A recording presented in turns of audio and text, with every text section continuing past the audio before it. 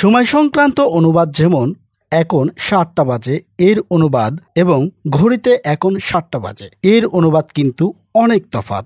অনুরূপভাবে এখন পাঁচটা বাজতে দশ মিনিট বাকি। এর অনুবাদ এবং এখন পাঁচটা বেজে দশ মিনিট। এর অনুবাদ কিন্তু অনেক তফাৎ। অর্থাৎ সময় সংক্রান্ত এ সকল অনুবাদ এক একটা এক এক রকম। এগুলো সবার জানাটা যেমন জরুরি, তেমনি প্রাইমারি মন্ত্রণালয় অধিদপ্তর সহ বিভিন্ন চাকরির ভাইবাই এগুলো থেকে এক মার্কের হলেও ধরবেই। এজন্যই দর্পণ স্কুল আপনার সামনে এমন দশটি নিয়ম নিয়ে আলোচনা করবে, যেগুলো জানা শুধুমাত্র আপনার কর্তব্য পালনই নয়, বরং চাকরি পাওয়ার জন্য ফরজও বটে। ভিডিওটি পরবর্তীতে সহজেই খুঁজে পেতে আপনার টাইললাইনে একটি শেয়ার দিয়ে এবং আপনার বন্ধুদের দেখার সুযোগ দিয়ে চলুন শুরু করি। প্রথমে আমরা আলোচনা করব ঘড়িতে এখন পাঁচটা বাজে। ঘড়িতে এখন দশটা বাজে, ঘড়িতে এখন নয়টা বাজে। এই সকল অনুবাদ কেমন হওয়া দরকার? প্রথমে রুলস অন। প্রথমে যদি এরকম অনুবাদ জানতে চাই তাহলে আমরা প্রথমেই শুরু করব the clock plus struck plus সময় বা টাইম। তাহলে ঘড়িতে এখন পাঁচটা বাজে, এর ইংরেজি কী হবে?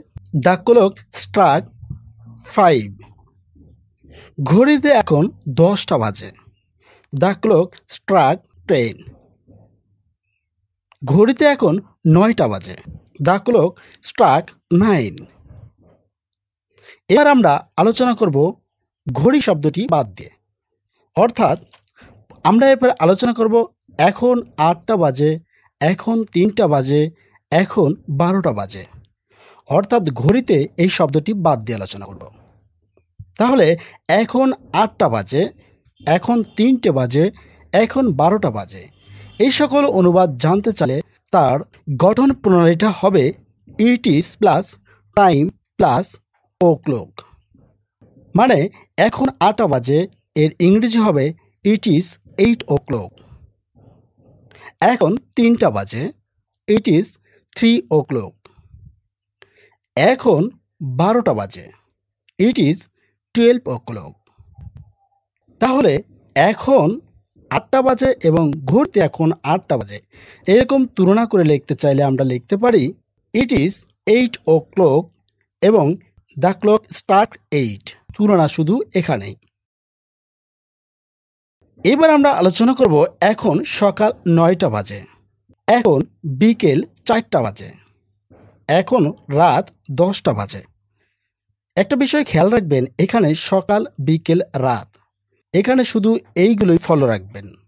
এখন সকাল নয়টা বাজে মানে এ এম অর্থাৎ গঠন প্রণালীটি হবে it is plus time plus A M oblique P M plus now অর্থাৎ এখন সকাল নয়টা বাজে it is nine A M now অর্থাৎ এ এম বলতে বারোটা পর্যন্ত, অর্থাৎ দুপুর বারোটা পর্যন্ত বলা হয়। এখন বিকেল চারটা বাজে মানে পি এমে চলে যাবে। It is four P M now এখন রাত দশটা বাজে। অবশ্যই কিন্তু এখানে নাইট বা অন্য কোনো কিছু আসবে না। এখানে বলতে হবে পিএম অর্থাৎ it is ten P M now অর্থাৎ এখন সকাল নয়টা বাজে ইংরেজি হবে ইট ইজ এ এম নাও এবং এখন রাত নয়টা বাজে এরকম যদি অনুবাদ আসে, তাহলে অবশ্যই আমরা এ এম এর জায়গায় পিএম দিয়ে দেবো। অর্থাৎ it is nine PM now এইবার আমরা আলোচনা করব যে এখন সাড়ে আটটা বাজে। এখন সাড়ে এগারোটা বাজে এখন সাড়ে চারটা বাজে। এরকম কিছু অনুবাদে। এরকম যদি অনুবাদ জানতে চায়, তাহলে এর গঠন প্রণালীটি হবে it is plus half past plus time plus now অর্থাৎ এখন সাড়ে আটটা বাজে it is half past eight now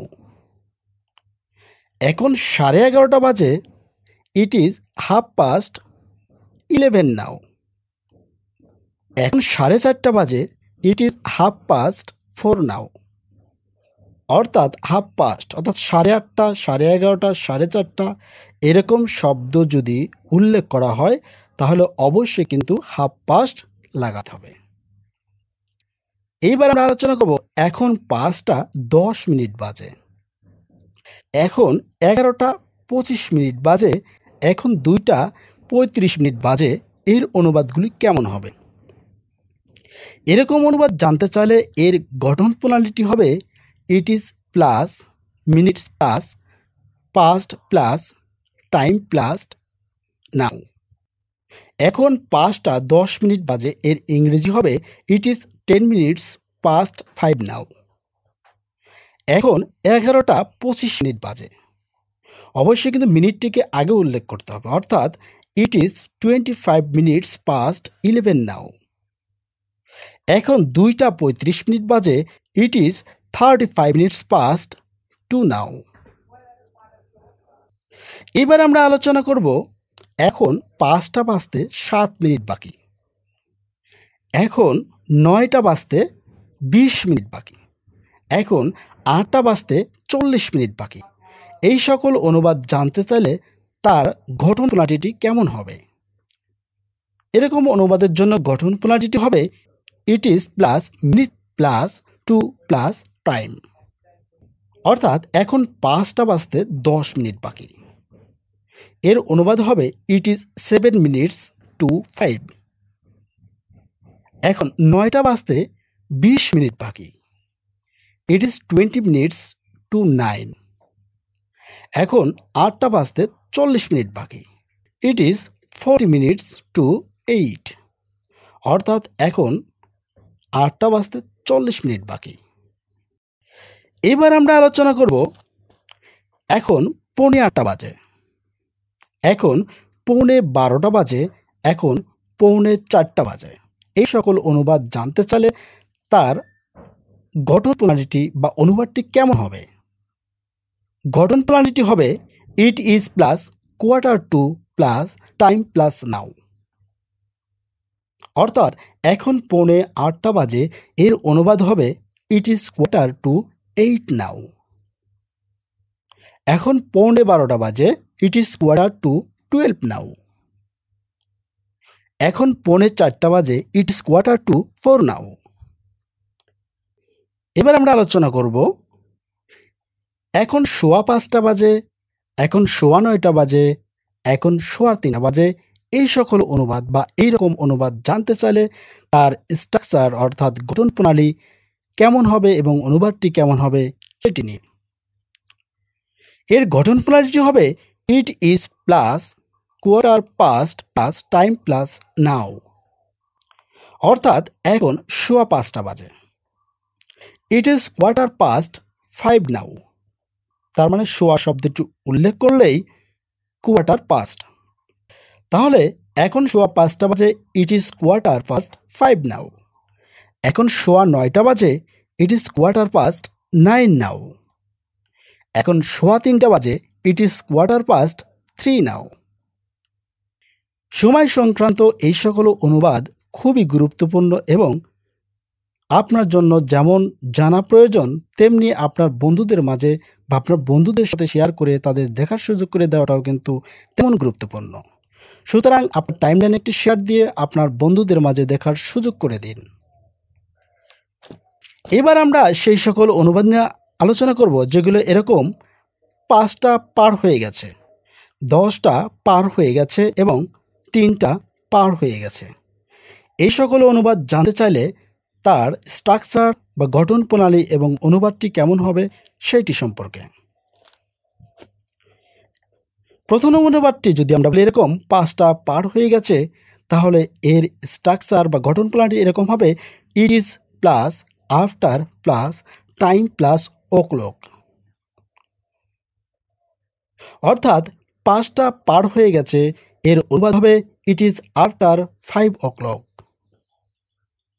দুই নম্বর, দশটা পার হয়ে গেছে, এর অনুবাদ হবে it is after ten o'clock এবং তিন নম্বর যদি আমরা বলি এরকম তিনটা পার হয়ে গেছে, তাহলে হবে it is after ten o'clock আলোচনার একদম শেষ পয়েন্ট বা শেষ নিয়ম, অর্থাৎ দশ নম্বর নিয়মটি এরকম যে, তিনি সকাল আটটার দিকে আসবেন, তিনি বিকেল পাঁচটার দিকে আসবেন, তিনি রাত নয়টার দিকে আসবেন। এইরকম যদি অনুবাদ জানতে চায়, তার পরিপ্রেক্ষিতে অনুবাদটি কেমন হবে এবং এর গঠন প্রণালীটি কেমন হবে সেটি আমরা দেখে নিই। দশ নম্বর নিয়মের এটি হচ্ছে, টেন্সের সাধারণ নিয়ম অনুযায়ী বসবে। তারপরে at about plus time plus A M oblique PM অর্থাৎ যেখানে এ এম বসার দরকার, সেখানে এ এম আর যেখানে পিএম বসার দরকার, সেখানে পিএম বসাতে হবে। যেমন তিনি সকাল আটটার দিকে আসবেন। তাহলে এর অনুবাদ হবে he will come at about eight A M. এখানে এ এম বসানোর মানে হচ্ছে সকাল আটটা, অর্থাৎ এ এম। আবার যদি এরকম বলা হয় তিনি বিকেল পাঁচটার দিকে আসবেন, তাহলে এর অনুবাদ হবে he will come at about five PM এখানে পিএম বসানোর মানে হচ্ছে এটি বিকেল। সুতরাং সকাল হলে এ এম এবং বারোটার পর, অর্থাৎ দুপুর বারোটার পর থেকে রাত বারোটা পর্যন্তর মধ্যে পড়লে সেটি হয়ে যাবে পিএম তিনি রাত নয়টার দিকে আসবেন। এর অনুবাদ হচ্ছে he will come at about nine PM প্রিয় শিক্ষার্থী বন্ধুরা, দর্পণ স্কুলের এই দশটি গুরুত্বপূর্ণ সময় সম্পর্কে এই নিয়মগুলি আপনার জন্য খুবই গুরুত্বপূর্ণ। বিশেষ করে যারা বিভিন্ন ধরনের চাকরির পরীক্ষায় ভাইবা দিতে যাচ্ছেন, তাদের জন্য তো গুরুত্বপূর্ণ বটেই। এরকমই নিত্য নতুন ভিডিও পেতে আমাদের চ্যানেল একটি সাবস্ক্রাইব করে রাখুন এবং নোটিফিকেশন বেল অন করে রাখুন। পরবর্তী কোনো গুরুত্বপূর্ণ এক ভিডিওতে আপনাকে সঙ্গে পেতে অগ্রিম আমন্ত্রণবাদ জানাচ্ছি। সেই সাথে আপনার সুস্বাস্থ্যতা ও মঙ্গল কামনা করে আজকের মতো বিদায় নিচ্ছে। খোদা হাফেজ।